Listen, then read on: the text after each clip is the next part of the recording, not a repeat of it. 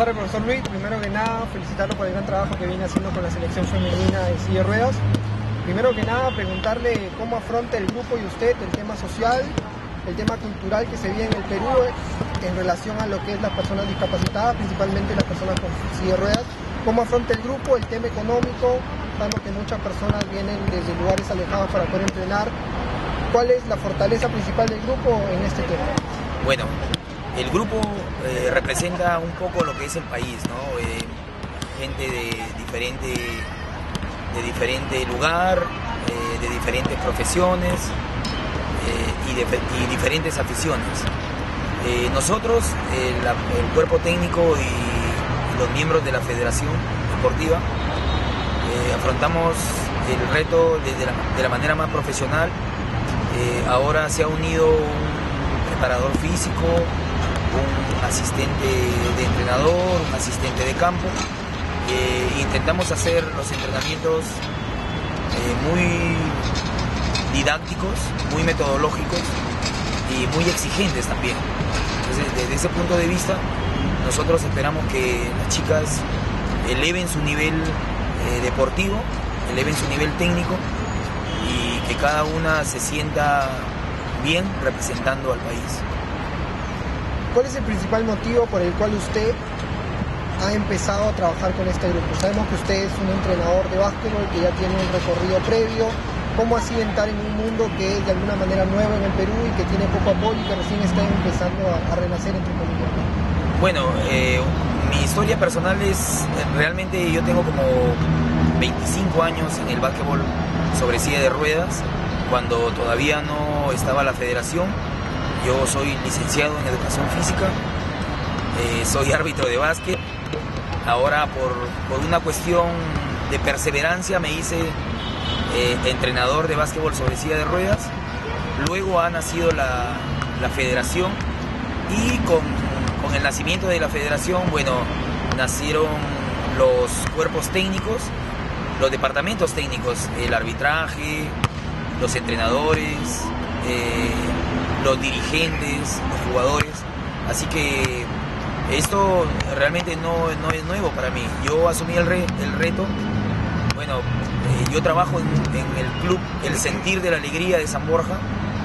Eh, nosotros entrenamos tres veces por semana desde hace un poco más de tres años. Y de alguna manera soy uno de los pocos entrenadores que se dedica casi con exclusividad al básquetbol silla de ruedas. La federación o las personas que están ahora en la federación creyeron por conveniente eh, convocar mis, con mis servicios y yo siempre he estado dispuesto a colaborar con las personas eh, con discapacidad.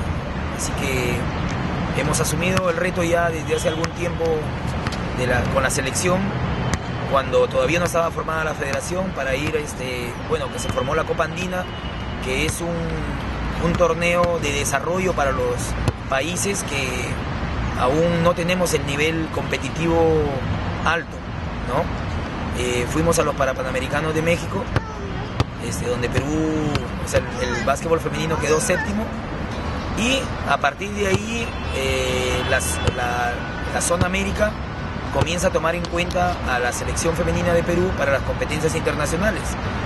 Nos convoca a la Federación Internacional para el Latinoamericano en Guatemala y este, en, Guatemala quedamos terceros detrás de Brasil y México y los tres primeros iban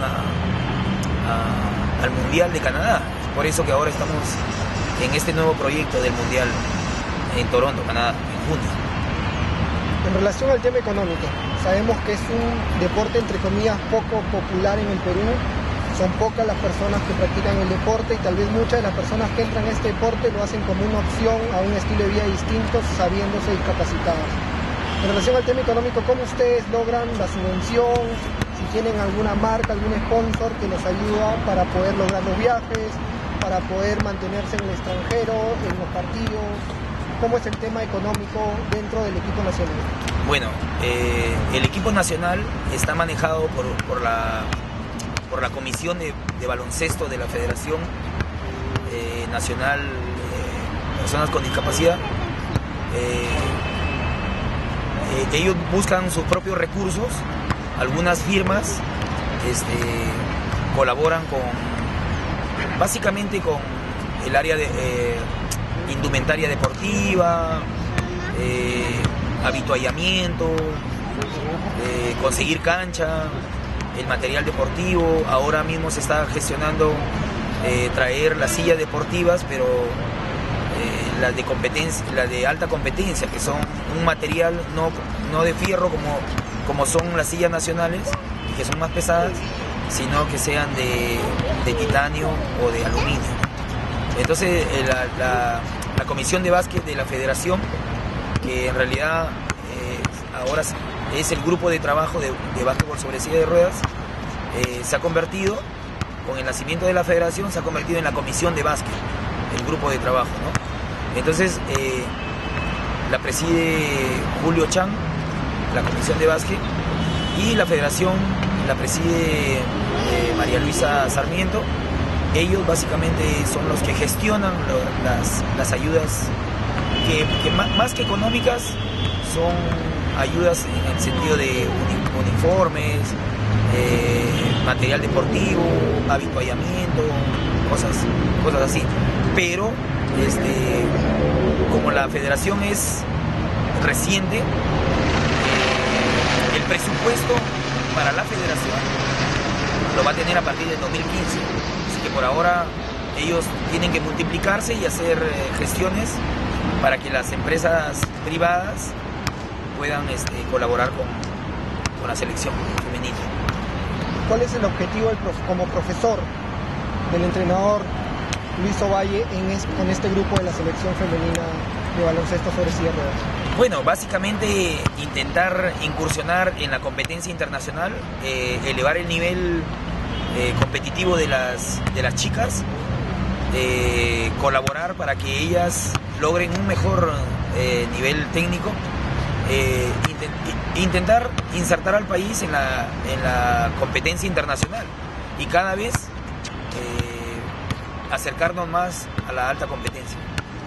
¿Cómo el profesor Luis Ovalle identifica las futuras promesas del baloncesto sobre silla ruedas? ¿Cuál es la principal característica que debe tener una jugadora para integrar el equipo nacional? Bueno, hay en realidad diferentes características que eh, básicamente los psicomotristas o los licenciados en educación física o aquellos eh, entrenadores que trabajan en la parte motriz, eh, básicamente por su locomoción, primero. Este, pero alguien podría decir, pero alguien que, que tiene polio, por ejemplo, ¿no? o alguien que es amputado, este, ¿cómo puede lograr el desarrollo motriz? Bueno, el desarrollo motriz no está solamente regido por, la por el segmento inferior del cuerpo, sino también uno sentado puede lograr este, motricidad, puede lograr psicomotricidad eh, desarrollo de la coordinación general eh, con, los brazos, con el cuerpo, con la cabeza. Y este, recordemos que la coordinación temporal-espacial no solamente, o sea, no la tenemos en las piernas solamente, sino el segmento superior del cuerpo también logra eh, coordinación motriz. Básicamente nosotros intentamos que cuando, cuando una jugadora una ex jugadora convencional o una persona que, ha, que, tiene una persona con discapacidad quiere incursionar en el deporte, nosotros básicamente eh, lo sentamos en la silla deportiva eh, para que haga algunos movimientos eh, adelante y atrás, a los costados, flexión lateral, flexión anterior, que recoja la silla, que recoja la pelota en movimiento, que pueda mover la silla y pueda dar bote y que pueda mover la silla y pueda hacer un lanzamiento sin necesidad que lo sepa. O sea, no es importante que lo sepa. Lo importante es que lo pueda hacer. Y a partir de ahí, a través del entrenamiento deportivo, podamos eh, ir afinando esa motricidad, eh, desarrollando esas habilidades y convertirlas en destrezas. ¿Cuál es el objetivo del grupo en el, Campeonato Mundial de Canadá? Se ve un grupo unido, que sigue las indicaciones del entrenador, que viene temprano, que hace la parte física y que después complementa con la parte táctica con ustedes, la parte táctica y técnica. ¿Cuál es el objetivo del grupo en este campeonato mundial en Canadá? Bueno, el, el, objetivo del grupo evidentemente es compenetrarnos, eh, desarrollar los sistemas técnico-tácticos que, hacemos en el entrenamiento. Eh, las chicas eh, se conocen la mayoría, sin embargo hay algunas que recién han ingresado a la selección, algunas ya han competido en México y en Guatemala y ahora van a Canadá, otras todavía no han, no han tenido competencia, sin embargo han tenido volumen de partidos. Eso creo que nos garantiza al cuerpo técnico a poder este, mantener una cierta expectativa en, que esas jugadoras puedan insertarse bien en la, en alta competencia. Este, ahora el entrenamiento se divide básicamente en tres fases. La primera parte que se hace con, con Duilio, es la parte física, que ellos trabajan 60 minutos en, la mejora de la condición física. Eh, luego viene la parte de la técnica individual. Las jugadoras en la silla con la pelota hacen diferentes desplazamientos para que logren una mejor coordinación motriz. Y luego se hace el trabajo colectivo eh, desarrollando eh, las técnicas defensivas y ofensivas para que el grupo tenga un, buen desarrollo dentro del campo de juego. Un último mensaje para todas las personas que, lo están escuchando, que piensan que el baloncesto sobre silla de ruedas no existe en el Perú, que tal vez son personas con discapacidad física, pero que tienen las ganas, están con el ánimo de practicar este deporte. Un mensaje que los incentive a practicar este lindo deporte que es el básquetbol sobre silla de ruedas. Bueno, primero, este, el, deporte. Eh, ¿Quiénes pueden practicar el básquetbol sobre silla de ruedas? Eh, lo pueden practicar todas las personas, sean con discapacidad o convencionales. Para poder participar dentro del, del básquetbol sobre silla de ruedas hay que tener, para los convencionales, hay que tener una lesión eh, con un certificado médico que pueda certificar que, dicha persona no puede practicar el básquetbol convencional.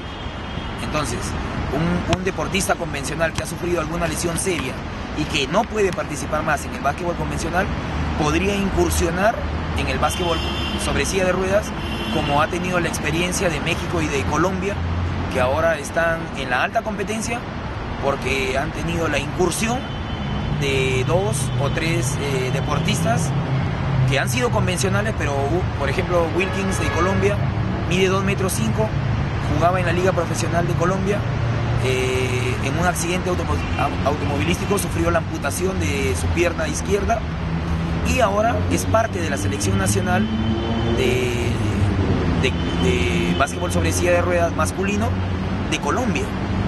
Y, él juega en la liga profesional de Colombia, ¿no? Este, Sainz eh, un jugador convencional de 1,98 metro 98 de, estatura de Colombia. Eh, sufrió en la una, en, ambas rodillas, una lesión muy seria que eh, camina con dificultad, pero puede participar deportivamente en el básquetbol sobre silla de ruedas.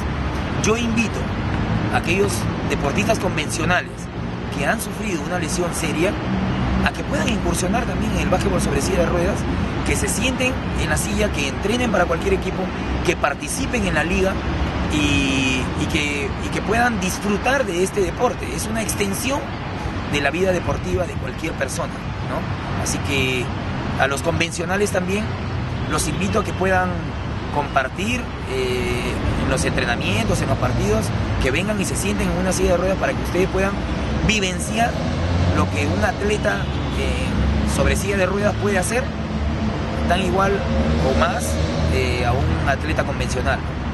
Así que yo invito a todas las personas que vengan, que, disfruten de... También hay una liga en Lima, una liga masculina y una liga femenina, donde participan seis equipos y se juega para la clasificación al torneo nacional y los partidos son muy expectantes, son muy vibrantes, hay mucha emoción y ustedes también pueden disfrutar igual como lo hace eh, un equipo convencional. Muchas gracias profesor por la entrevista y lo felicitamos por todos los éxitos que viene cosechando en el básquet peruano. Bueno, yo también, yo también los, los, los felicito Yo lo sigo a través del Facebook a Making Sport, así que yo invito a todas las personas para que sigan también esta página. Muchas gracias.